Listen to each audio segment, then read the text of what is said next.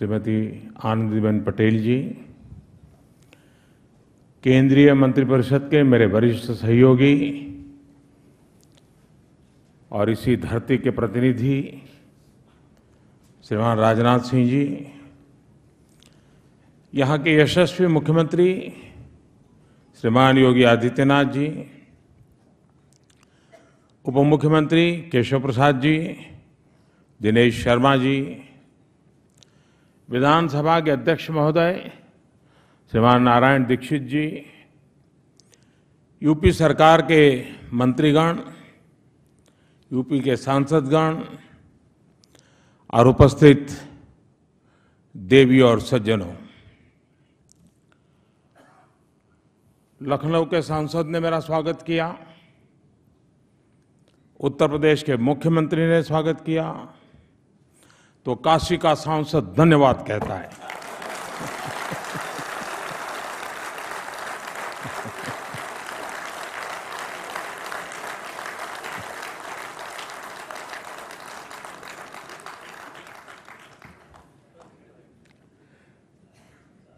आज मेरा सौभाग्य है कि महत्वपूर्ण दूसरे कार्यक्रम में मुझे आने का अवसर मिला है। और दोनों कार्यक्रम में मुझे अटल बिहारी वाजपेयी जी को वंदन करने का, उनके विजन को सम्मान करने का अवसर प्राप्त हुआ है। यहाँ आने से पूर्व मैं दिल्ली में अटल जल योजना का शुभारंभ कर रहा था। 6000 करोड़ रुपए की इस योजना के तहत उत्तर प्रदेश सहित देश के सात राज्यों में भूजल के स्तर को सुधारने के लिए काम किया जाएगा। इसके साथ ही आज हिमाचल को लद्दाख से जोड़ने वाली रोहतांग सुरंग का नाम अटल टनल के नाम पर किया गया है। ये भी संयोग है कि आज सुशासन दिवस के रूप में जब हम मना रहे हैं, तब यूपी का शासन जिस भवन से चलता है, वहाँ अटल जी की प्रतिमा का अनावरण किया गया है। उनकी ये भव्य प्रतिमा लोक भवन में कार्य करने वाले लोगों को सुशासन की, लोक सेवा की निरंतर प्रेरणा देती रहेगी। साथियों, इसके अलावा अटल जी को समर्पित अटल मेडिकल यूनिवर्सिटी का शिलान्यास किया गया है, जो लखनऊ बरसों तक अटल जी की कर्मभूमि रहा, अटल जी की संसदीय सीट रही हो, और वहाँ आकर शिक्षा से जुड़े, स्वास्थ्य से जुड़े संस्थान का शिलान्यास करना जिसको भी अवसर मिलेगा, वो जीवन में इसे अपना सौभाग्य मानेगा। मेरे लिए भी आज ये सौभाग्य की पल है। जब अटल जी यहाँ से सांसद थे, तब उन्होंने यहाँ विकास की अनेक परियोजनाओं पर काम शुरू करवाया था। रिंग रोड का काम हो, पुराने लखनऊ में ड्रेनेज सिस्टम हो यहाँ के एयरपोर्ट का आधुनिकरण हो, वाल्मीकि आंबेडकर आवास योजना हो, बायोटेक पार्क हो, लखनऊ को नई पहचान देने वाले सैकड़ों काम अटल जी ने किए थे। अब सांसद के तौर पर श्रीमान राजनाथ जी इस विरासत को संभाल रहे हैं, संवार भी रहे हैं। साथियों, अटल जी कहते थे कि जीवन को टुकड़ों में नहीं देखा जा सकता। उसको समग्रता में देखना होगा। ये बात सरकार के लिए भी उतनी ही सत्य है और गुड गवर्नेंस के लिए भी, सुशासन के लिए भी यही उपयुक्त मानदंड है। सुशासन भी तभी तक संभव नहीं है जब तक हम समस्याओं को संपूर्णता में समग्रता में न सोचेंगे, न उसे सुलझाने का प्रयास करेंगे। मुझे संतोष है कि योगी जी की सरकार भी समग्रता की इस सोच को साकार करने का भरसक प्रयास कर रही है। अटल मेडिकल यूनिवर्सिटी उसी सोच को परिलक्षित करती है। ये यूनिवर्सिटी यूपी में मेडिकल की पढ़ाई और उसको समग्रता देगी, संपूर्णता देगी और पाठ्यक्रम से लेकर के परीक्षा तक इसमें एक सूत्रता होगी, एक रूपता होगी और स्वाभाविक एकात्म भाव होगा। मेडिकल कॉलेज हो, डेंटल कॉलेज हो, पैरामेडिकल कॉलेज हो, नर्सिंग हो, चिकित्सा से जुड़े हर कोर्स, हर डिग्री को देखकर, और इसी की देखरेख में, ये विश्वविद्यालय इस सारी व्यवस्थाओं को, विधाओं को आगे बढ़ाएगी।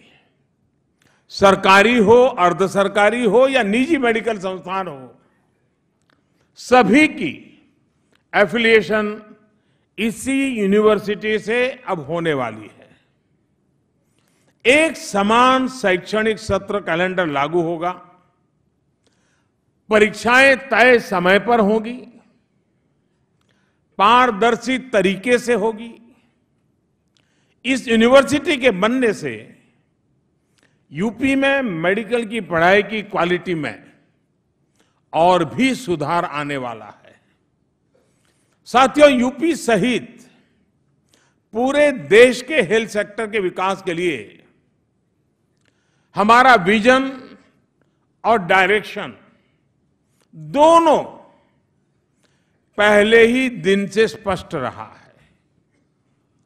स्वास्थ्य के साथ साथ इससे जुड़ी सुविधाओं में सुधार पर भी हमने ध्यान केंद्रित किया है। हेल्थ सेक्टर के लिए सरकार का रोड मैप है।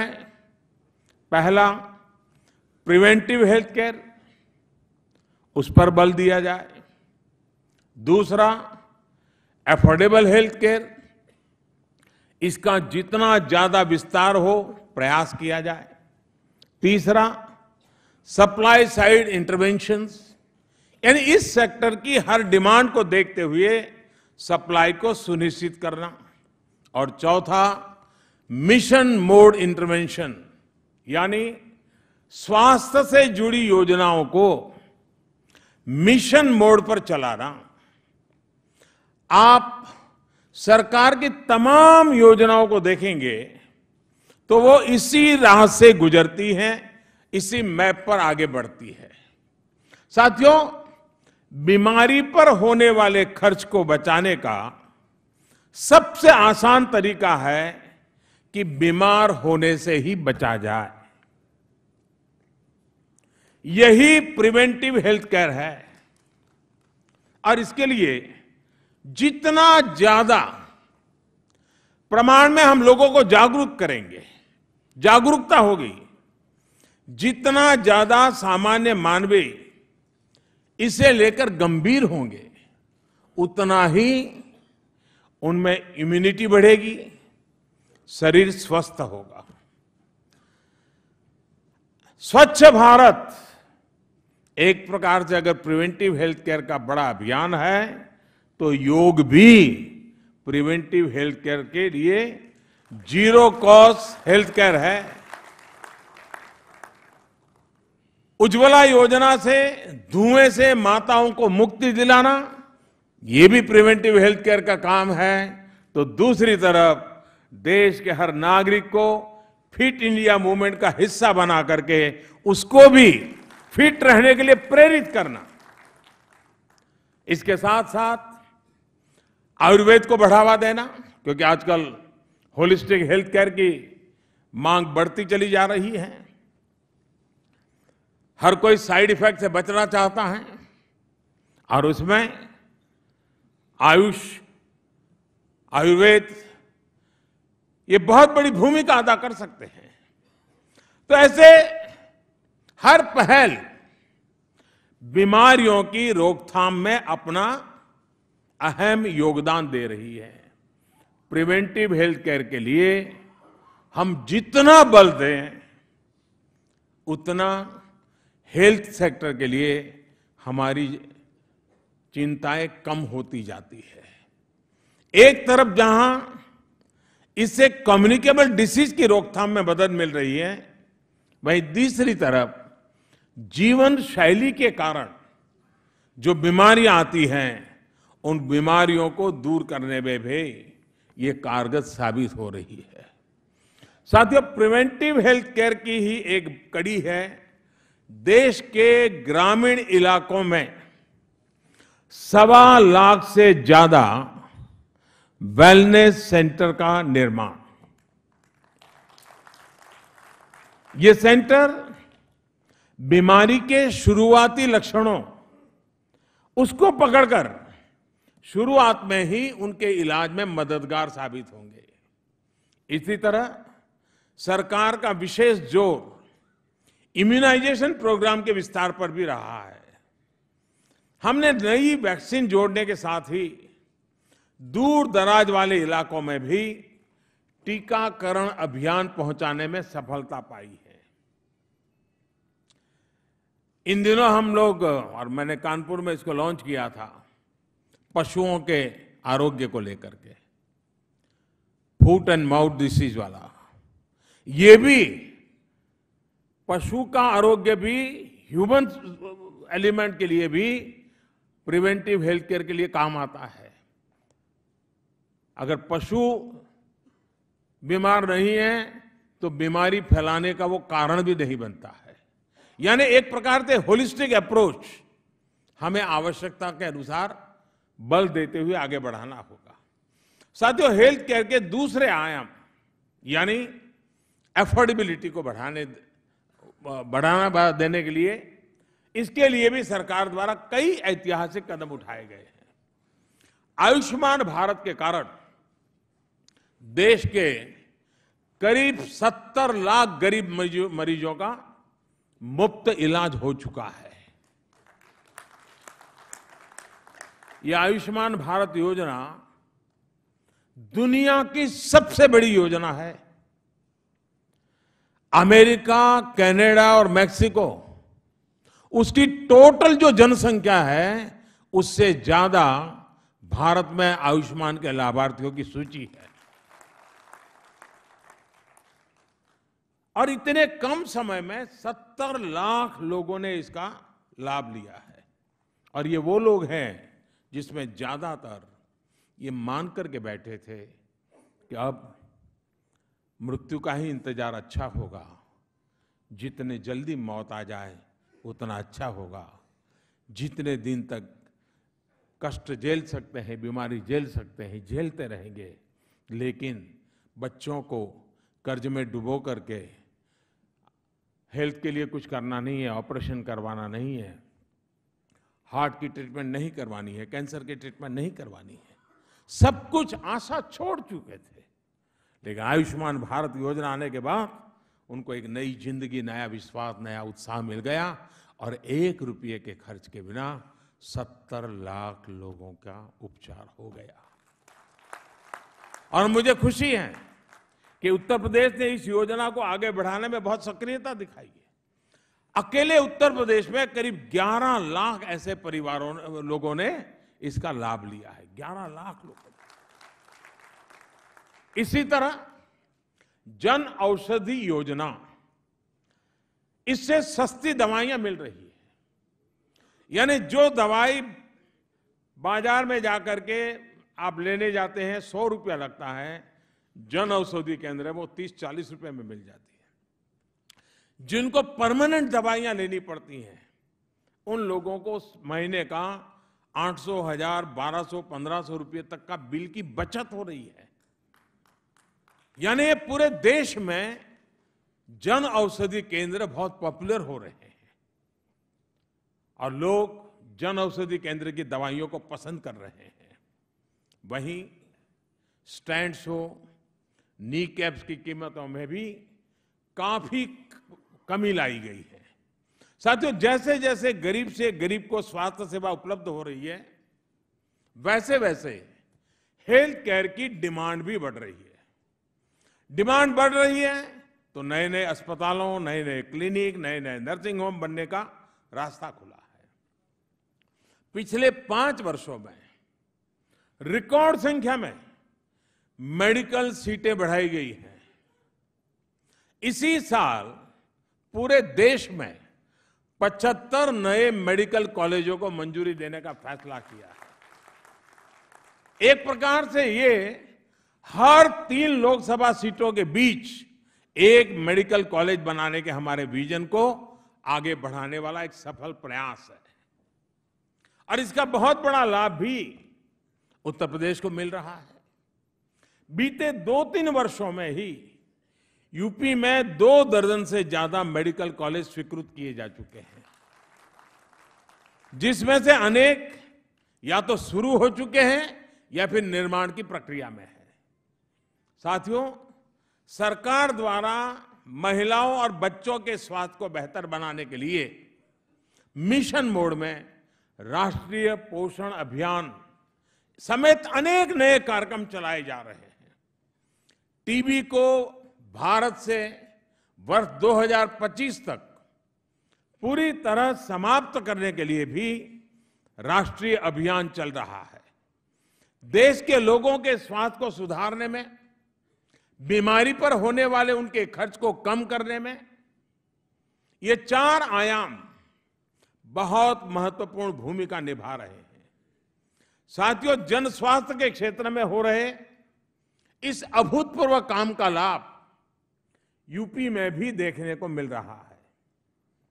इस वर्ष एंसेफेलाइटिस इसके मामले में योगी जी और उनकी टीम ने और यूपी की जनता ने बहुत ही सराहनीय काम किया है।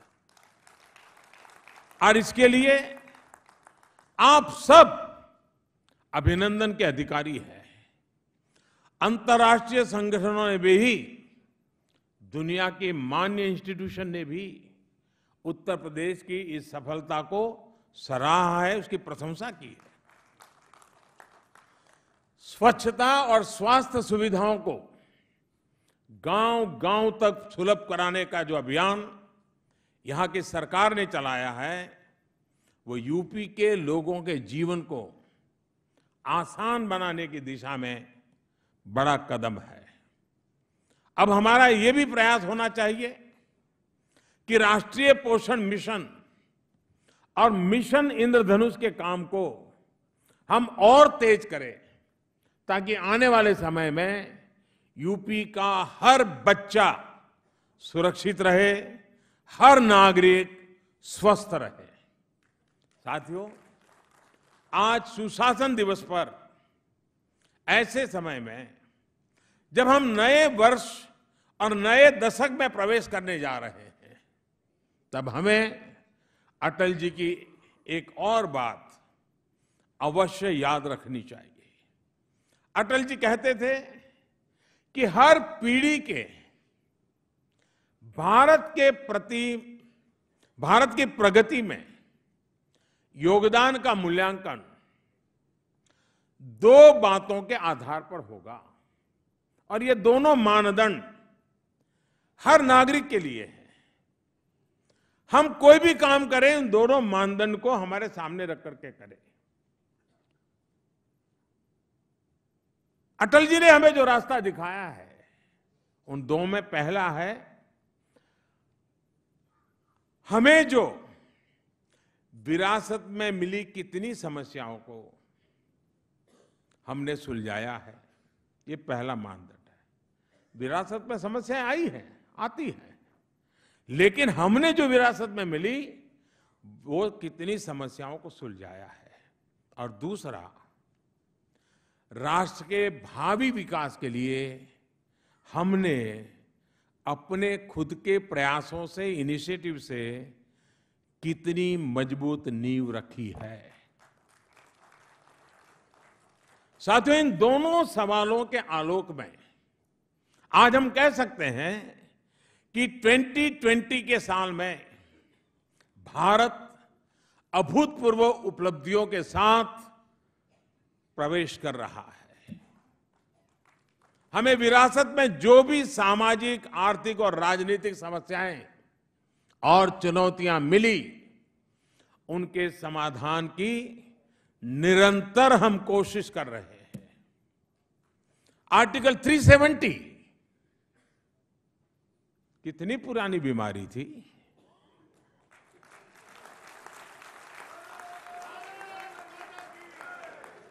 कितनी कठिन लगती थी? हमें विरासत में मिली थी, लेकिन हमारा दायित्व था कि हम ऐसी कठिन से कठिन चुनौतियों को सुलझाने के लिए बरसक प्रयास किए। और हुआ। आराम से हुआ।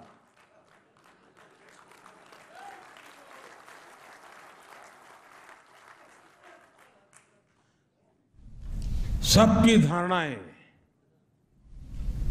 चूर चूर हो गई।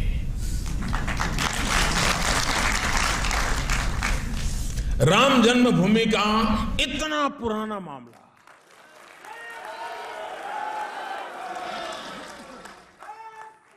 शांतिपूर्ण समाधान। भारत आज़ाद हुआ, विभाजन हुआ तब से लेकर के। लाखों गरीब उसमें भी ज़्यादा दलित है, वंचित है, शोषित है। पहने कपड़े पहन करके, अपना धर्म बचाने के लिए, अपने बेटियों की इज़्ज़त बचाने के लिए, जो लोग पाकिस्तान, बांग्लादेश, अफ़गानिस्तान से भारत की शरण लेने के लिए मजबूर हो गए, ऐसे शरणार्थियों को नागरिकता की गरिमा देने का रास्ता। ऐसी अनेक समस्याओं का हल इस देश के 130 करोड़ भारतीयों ने निकाला है। इस आत्मविश्वास से भरा हुआ हिंदुस्तान 2020 में प्रवेश कर रहा है। एक नए दशक में कदम रख रहा है। और अभी भी जो बाकी है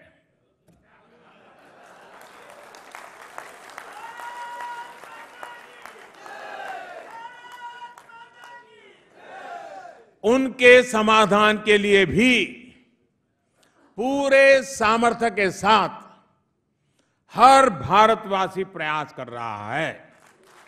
चाहे हर गरीब को घर देना हो, चाहे हर घर जल पहुंचाना हो, कितनी ही बड़ी चुनौतियाँ होगी। हम चुनौतियों को चुनौती देने के स्वभाव को लेकर के निकले साथियों 2014 से लेकर 2019 तक के कालखंड में हमने चुनौतियों को चुनौती देने का एक भी मौका छोड़ा नहीं 2014 से पहले देश की आधे से अधिक आबादी के पास शौचालय नहीं था। अब शौचालय पहुँच चुका है।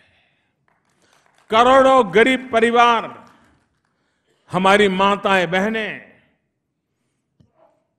रसोई घर में, धुएँ में ज़िंदगी गुजारती थी। अब हर घर तक गैस पहुँच रही है। हज़ारों गाँव, हज़ारों परिवार अंधेरे में ज़िंदगी गुजारने के लिए मजबूर थे। अब उनके घर में बिजली पहुँच रही है। आधे से ज़्यादा आबादी बैंक से दूर थी, उसके लिए बैंकों के दरवाजे खोले हैं। करोड़ों गरीब परिवार के पास अपना घर नहीं था, करीब दो करोड़ गरीब परिवारों के घर बन चुके हैं। 2022 तक हर गरीब जो बेघर है, उसको अपना पक्का घर देने के लिए काम तेज़ी से चल रहा। है गाँव गाँव तक सड़क पहुँचाने का काम, रेलवे कनेक्टिविटी पहुँचाने का काम तेज़ी से चल रहा है। और साल 2024 तक हर घर जल पहुँचाने के संकल्प को सिद्ध करने के लिए भी हम पूरी तत्परता के साथ जुट चुके हैं। यही समाधान न्यू इंडिया की प्रगति के लिए ठोस नींव तैयार कर रहे हैं।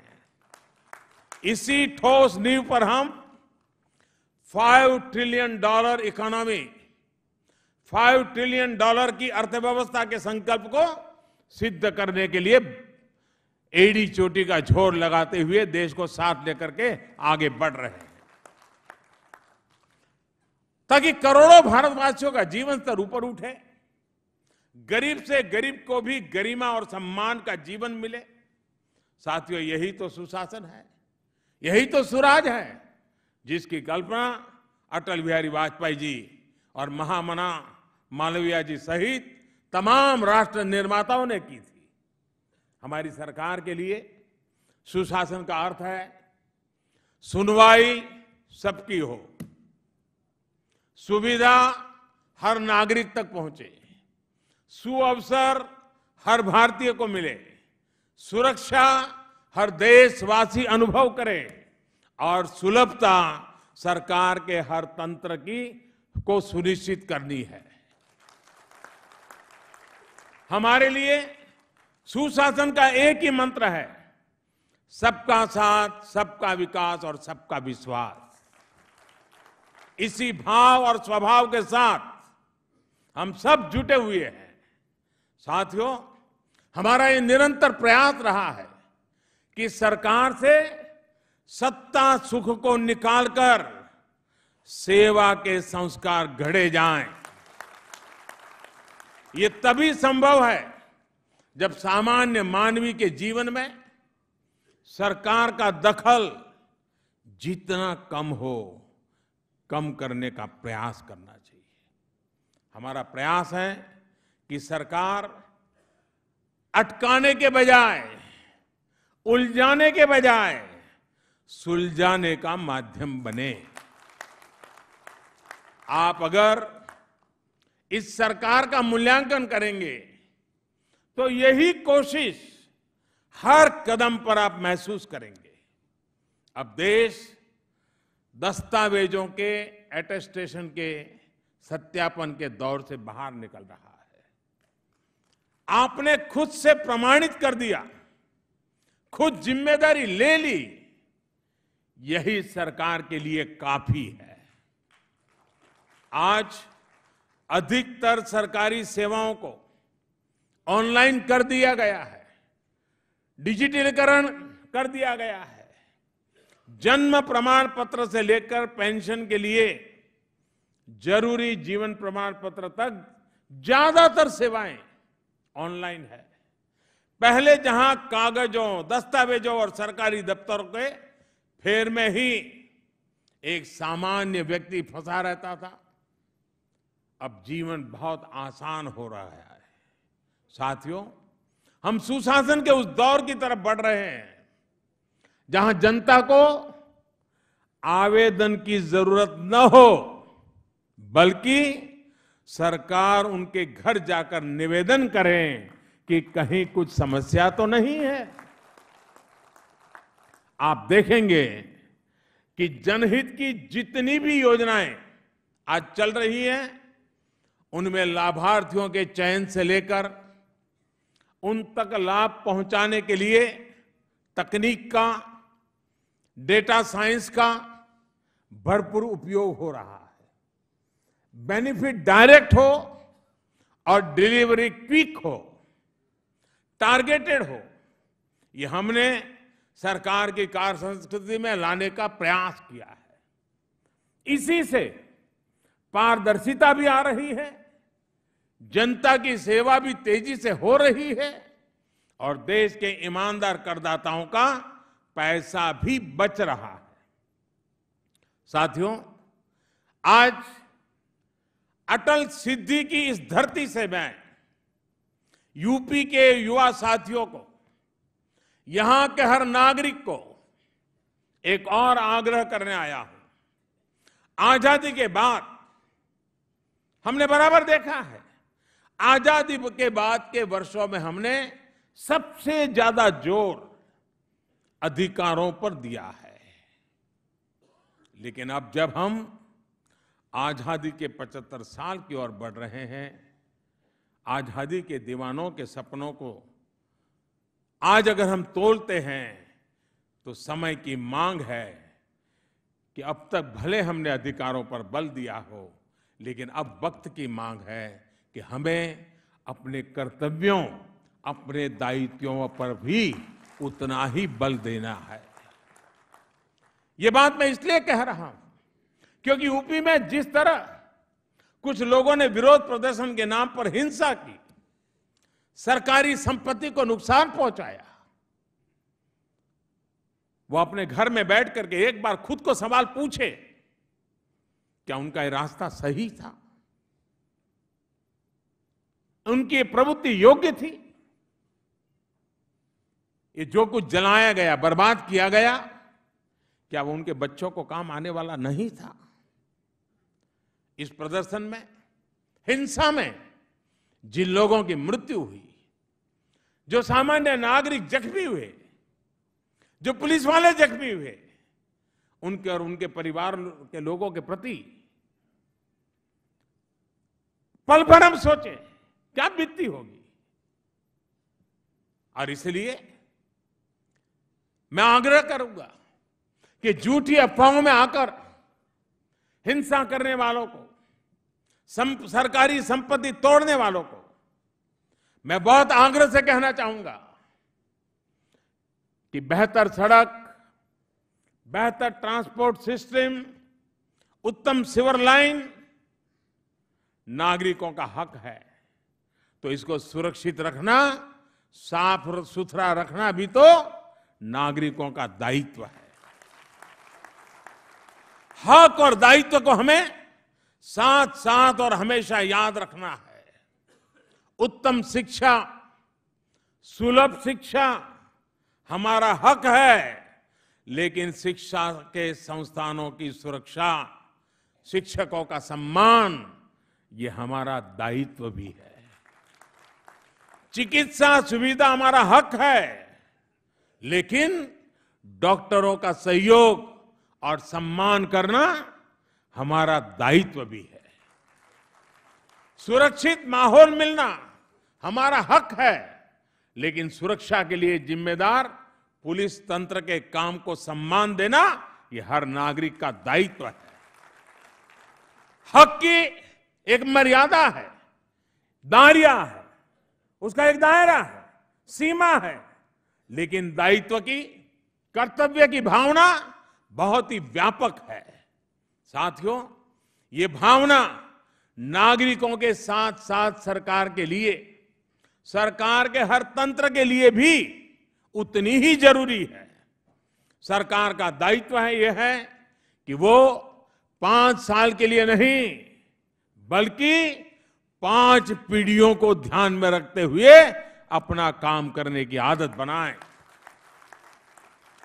मुझे संतोष है कि यूपी सरकार अपने इस दायित्व को निभाने का भरपूर प्रयास कर रही है। हम अपना दायित्व निभाएँ, अपने लक्ष्यों को प्राप्त करें, यही सुशासन और यही आज का दिवस अटल जी को स्मरण करते हुए हम लोगों का संकल्प होना चाहिए। यही जनता की अपेक्षा है, यही अटल बिहारी वाजपेयी की हम सबको शिक्षा है। एक बार फिर उत्तर प्रदेश लोग, के लोगों को अटल मेडिकल यूनिवर्सिटी के लिए बहुत बहुत बधाई के साथ आप सबको भी अनेक अनेक शुभकामनाओं के साथ कुछ दिनों के बाद नया वर्ष प्रारंभ होगा। इस नए वर्ष के भी जब बहुत दूर नहीं है, सप्ताह बचमर है, आप सभी को उत्तर प्रदेश के लोगों को वर्ष 2020 की बहुत बहुत शुभकामनाएँ देता हूँ। बहुत बहुत धन्यवाद।